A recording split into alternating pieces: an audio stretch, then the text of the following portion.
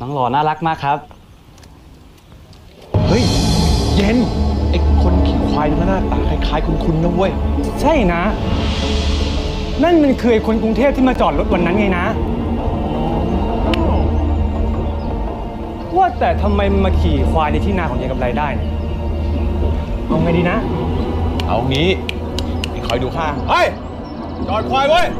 เฮ้ยหยุดควายนะเว้ย หยุดเดี๋ยวนี้ครับ มีอะไรเหรอครับ ข้าบอกแล้วใช่ไหม ว่าอย่ามายุ่มย่ามแถวนี้ ผมไม่ได้มายุ่มย่าม ผมแค่มาหัดขี่ควายครับ ขี่ควายก็ไม่ได้ ไม่ต้องหัดขี่ลงมาเดี๋ยวนี้เลยนะไอ้หน้าจืด ผมไม่รู้จะลงจากควายยังไง แค่บังคับผมยังไม่คล่องเลยครับ นี่ ผมว่าน้ากับพี่เนี่ยออกไปดีกว่านะครับ ถ้าเจ้าหล่อมันตื่นเนี่ยมันจะยุ่งนะครับ ตื่นเหรอ ดีเลย ไอ้เย็นจัดการให้ไอ้ทุยมันตื่นเดี๋ยวนี้เลย จัดไปครับนะเอียด เออ ไอ้เย็นเฮ้ย